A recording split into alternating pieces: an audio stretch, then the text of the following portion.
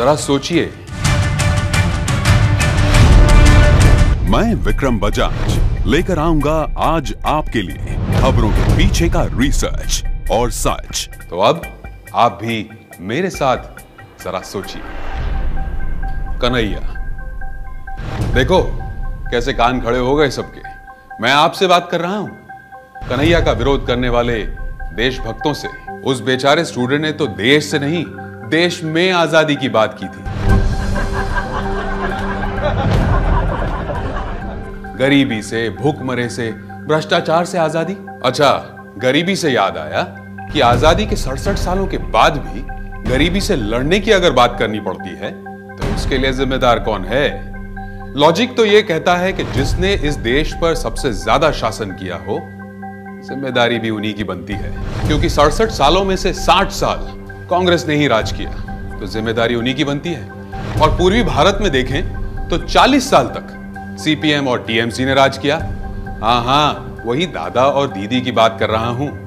तो भैया, अब जिसने इस देश में सबसे ज़्यादा शासन किया हो, कन्हैया की जंग उन्हीं के सामने होगी। और ये गंगा तो उल्टी बह रही है।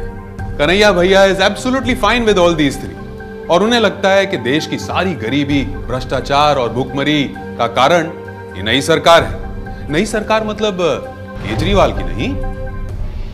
ओके तो फिर बचा कौन? ये दो साल पुरानी मोदी सरकार, जिनके सर पे हमने सड़सठ सालों की समस्याओं का टोकरा डाल दिया। और असल में इस देश को गरीबी देने वालों के साथ कन्हैया भैया बन गए थियरीज की दुनिया के सुपर हीरो जो ये तो बता सकते हैं कि इस देश में खराब क्या है।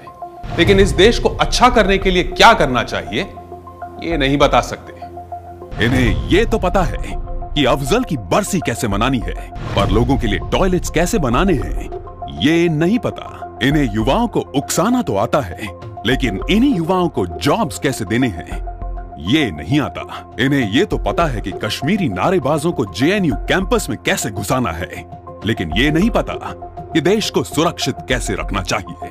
जरा सोचिए, लड़की को छेड़ने के आरोप में तीन हज़ार का जुर्माना भरने वाला मतलब कि अपनी गरीब माँ की एक महीने की पूरी तनख्वाह जितना, वो आदर्श बालक महिला दिवस पर भाषण देता है। मतलब कि लड़की छेड़ने वाले क्रांतिकारी और बेटी बचाओ, बेटी पढ़ाओ का सूत्र देने वाले अत्याचारी। लीजिए, ब्रेकिंग न्यूज़। अभी अभी न्यूज़ मिली है कि पश्चिम बंगाल में सीपीएम ने कन्हैया भैया को चुनाव के लिए स्टार प्रचारक चुना है। समझे? अच्छा केजरीवाल को तो इनका भाषण अच्छा लगता है। बरखा को इनकी स्माइल अच्छी लगती है। और राहुल को? जाने दीजिए। बच्चों को सीरियस टॉपिक में इन्वॉल्व नहीं करते। अब जरा सोचिए, ये कन्हैया गरीबी के विरोध में लड़ रहा है या केवल मोदी के विरोध में? ऐसे आंदोलन से हमारा देश जुड़ रहा है या टूट रहा है? देश मज़बूत हो रहा है या कमज़ोर? ये जरा सोचिए।